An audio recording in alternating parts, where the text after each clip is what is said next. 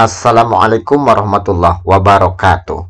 Oke sahabat cek semuanya Bertemu lagi dengan channel kita Zahra Abid Collection.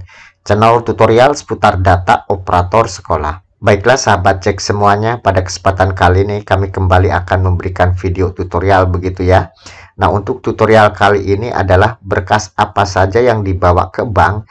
Ini untuk pencairan insentif guru honorer atau non-PNS 2021 karena setelah kita mengecek di info GTK itu ada informasi tentang insentif guru untuk non PNS begitu ya. Maka kita harus segera mengaktifasi buku rekening atau mencairkan ke bank. Tujuan begitu ya. Nah coba kita cek dulu di info GTK Oke sahabat cek ini kita sudah masuk di info GTK punya teman kami ya yang satu sekolah Nah kalau seperti ini ini sudah lengkap gitu Artinya ini guru ini tinggal menunggu pencairan saja. Nah, di sini ada nomor rekening. Ini kalau nomor rekeningnya digeser ininya ya, ini akan kelihatan nanti. Di sini ada nama pemegang rekening, di sini ada nama banknya. Coba kita geser lagi.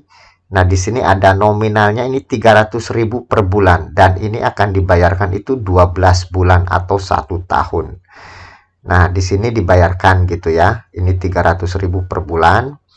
Nah, di sini ada data SK tunjangan. Coba kita geser lagi. Nah, ini nomor SK-nya. Ini sudah lengkap ya, teman-teman semuanya. Nah, ini tanggal SK-nya itu tertanggal 29 November 2021. Nah, untuk periode pembayarannya itu terakhirnya itu tanggal 31 Desember 2021. Nah, ini ada nomor SPM-nya, ini ada tanggal SPM-nya gitu ya. Namun di sini ada catatan, teman-teman semua. Dana masuk rekening minimal setelah 14 hari kerja, terhitung sejak tanggal terbit SP2D. Nah, guru ini ini sedang menunggu pencairan dari pusat ya, teman-teman semuanya. Karena di sini sudah jelas ini dana masuk rekening minimal. Ini minimal bahasanya. Setelah 14 hari kerja terhitung nih ya terhitung sejak tanggal terbit SP2D nah ini saja teman kami yang datanya sudah komplit atau sudah lengkap di sini. Ini tanggal SP2D nya itu belum terbit dari pusat makanya harus ditunggu gitu ya karena di sini sudah jelas ini minimal 14 hari kerja terhitung sejak tanggal terbit SP2D. Di sini ini belum muncul gitu. Nah, guru ini ini sedang menunggu gitu ya, menunggu. Cuman ini kami berikan saran untuk guru ini, ini silahkan berhubungan dengan bank gitu ya, dengan pihak bank atau konfirmasi ke pihak bank dengan membawa berkas-berkas persyaratan yang nanti akan kami jelaskan gitu ya, sahabat cek semuanya. Nah, ada pertanyaan seperti ini, kok nomor rekeningnya itu kadang belum muncul gitu ya, nama banknya juga belum muncul, padahal nominalnya di sini sudah muncul. Tinggal ditunggu saja teman-teman ya. Ini mungkin penarikan datanya oleh pusat atau oleh server pusat itu belum selesai. Silakan tinggal ditunggu saja kalau memang e, di info GTK-nya itu sudah ada nominalnya dan SKSK-nya itu sudah lengkap gitu ya untuk teman-teman. Itu tinggal ditunggu saja jika di sini nama banknya belum muncul atau nomor rekeningnya belum muncul. Tinggal ditunggu saja. Mudah-mudahan bisa secepatnya gitu ya, secepatnya ini muncul semua. Ini saja sudah lengkap punya teman kami ini tanggal SP2D-nya ini belum terbit artinya ini belum bisa dicairkan paling ini hanya sebatas bisa konfirmasi atau menghubungi pihak bank untuk pembuatan kartu rekening bank. Supaya nanti jika sudah dicairkan sudah ada tanggal SP2D-nya ini bisa segera dicairkan gitu ya sahabat cek semuanya. Baiklah sahabat cek kita langsung ke materinya saja. Nah di sini kami sudah meringkaskan berkas yang harus dibawa ke bank untuk pencairan tunjangan insentif guru honorer atau guru non-PNS jika nanti tanggal SP2D-nya itu sudah muncul di info GTK, sudah muncul di sini. Nah, kalau sudah muncul di sini, ini segera gitu ya menghubungi pihak bank bagi yang sudah lengkap. Karena ini kan minimal 14 hari kerja nih ya. Ini kita tunggu saja tanggalnya. Nah, berkas apa saja yang harus dibawa teman-teman semuanya untuk pencairan tunjangan insentif guru honorer atau guru non-PNS ini? Yang pertama, itu harus membawa surat pengantar dari KS yang menerangkan bahwa guru honorer ini memang benar-benar menerima gitu ya, menerima tunjangan insentif guru non PNS. Ini harus ada surat pengantar dari KS. Ini biasanya surat pengantar itu asli ya, tanda tangan dan stempel sekolah. Lalu nomor dua, itu ada fotokopi SK pengangkatan pertama. Ini biasanya dilegalisir kepala sekolah gitu ya. SK pengangkatan lah ya, SK pengangkatan pertama. Lalu nomor tiga itu ada fotokopi NUPTK.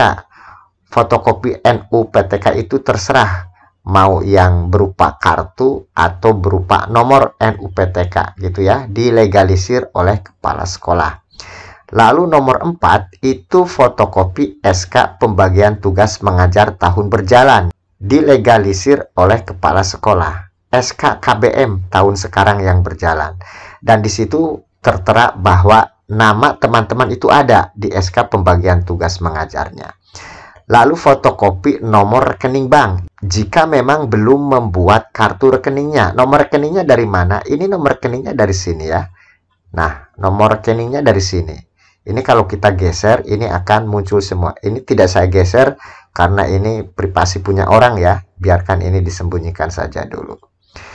Nah, jika sudah mempunyai buku rekening, ini tinggal dibawa fotokopinya gitu ya. Lalu nomor 6, ini fotokopi NPWP jika mempunyai. Jika tidak mempunyai kartu NPWP tidak usah membawa karena memang tidak punya gitu ya. Nah, lalu nomor 7 itu info GTK terbaru. Silahkan dibawa info GTK terbaru. Yang mana? Yang ini ya, info GTK yang ini yang ada pembayaran insentif guru bukan PNS. Yang lengkap yang ini itu yang dibawanya. Nah, lalu yang terakhir itu adalah fotokopi KTP. Ini mutlak harus dibawa gitu ya sebagai identitas. Nah, ini hanya untuk rambu-rambu saja atau referensi berkas yang dibawa ke bank. Ini untuk pencairan tunjangan insentif guru honorer gitu ya. Ini untuk persiapan saja jika memang nanti sudah dicairkan oleh pusat ke buku rekening atau sudah dicairkan pusat lewat bank begitu ya, sahabat cek semuanya. Jadi intinya silahkan dicek saja di info GTK-nya teman-teman. Apakah di sini itu sudah lengkap atau belum gitu ya pastikan nomor rekeningnya itu sudah ada nama pemegang rekening, nama banknya gitu ya, nominalnya juga, lalu nomor SK gitu ya, periode pembayaran, nomor SPM gitu, tanggal SPM. Ini pastikan semuanya lengkap dulu. Kalau sudah lengkap, siapkan berkas yang ini gitu ya, siapkan berkas yang ini. Karena untuk pencairannya itu muncul setelah tanggal SP2D-nya ini ada. Di sini sudah jelas, dana masuk rekening minimal ini. Minimal itu kan bisa lebih ya. Minimal setelah 14 hari kerja, terhitung sejak tanggal terbit SP2D. Jadi guru ini walaupun sudah lengkap, ini menunggu tanggal SP2D-nya dulu dari pusat gitu ya. Tidak serta-merta ini sudah lengkap terus cair, tidak teman-teman. Ini harus tetap menunggu dulu dan jika ingin lebih jelas bisa menghubungi pihak banknya begitu ya dengan membawa persyaratan yang tadi. Ini hanya untuk referensi saja untuk rambu-rambu persiapan pencairan ke bank begitu. Baiklah sahabat cek semuanya itu saja mungkin tutorial kali ini yang dapat kami sampaikan. Mudah-mudahan bisa bermanfaat buat sahabat cek semuanya. Terima kasih yang sudah like dan subscribe di channel kami. Kami tunggu yang belum silahkan di like, di subscribe serta aktifkan notifikasi loncengnya supaya bisa mengikuti terus informasi dari channel kami. Serta bisa di-share kalau memang informasi yang kami berikan ini bisa bermanfaat. Selamat bertemu di video tutorial selanjutnya. Terima kasih. Wassalamualaikum warahmatullahi wabarakatuh